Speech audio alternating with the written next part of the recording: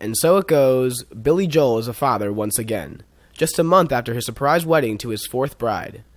The baby girl, Della Rose Joel, was born in New York at 2:40 a.m. Wednesday, his rep confirmed to the Daily News. She weighed 7 pounds, 6.5 ounces. Della is Joel's first baby with his 33-year-old bride, Alexis Roderick.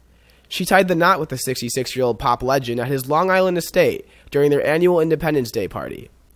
The couple, who have been dating since 2009, announced the baby in April.